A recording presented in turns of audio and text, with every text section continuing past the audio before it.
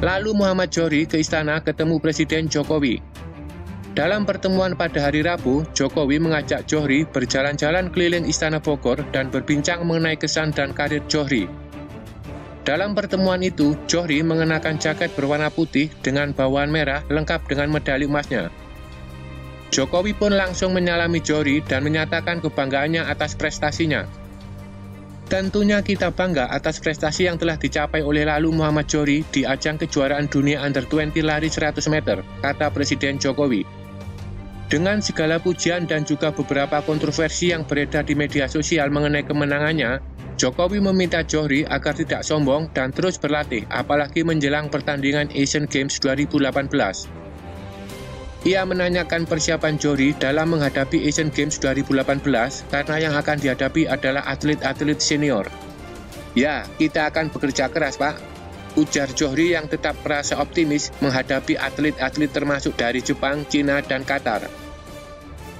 Jokowi menyatakan rasa salut atas prestasi Johri dan mengatakan dengan segala keterbatasan dan kekurangan fasilitas, Johri memiliki ambisi yang besar kerja keras dan kegigihan Jori bisa memenangkan pertandingan lari 100 meter under 20, kata Jokowi.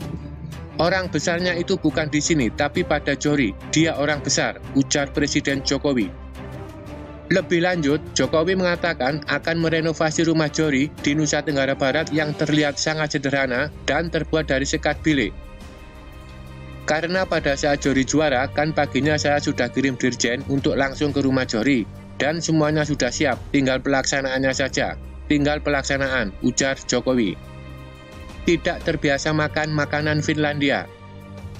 Dalam kesempatan itu, Jori juga menyampaikan kesan-kesan positif mengenai kedubes RI di Finlandia.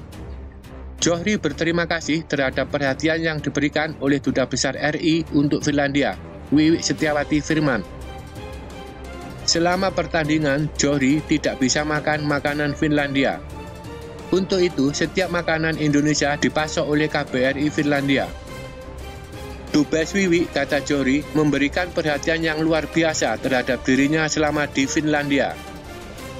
Saya bersyukur Alhamdulillah ada Ibu Dubes yang sangat luar biasa.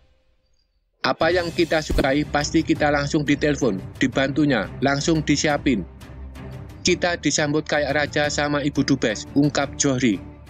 Johri memenangkan medali emas di kejuaraan dunia IAF nomor 100 meter untuk usia di bawah 20 tahun di Finlandia.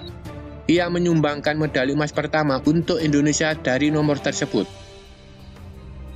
Terima kasih Anda telah menyaksikan video dari kami. Bila Anda suka dengan video ini silahkan like, subscribe, dan juga share. Ikuti terus video-video menarik dari channel Jelajah.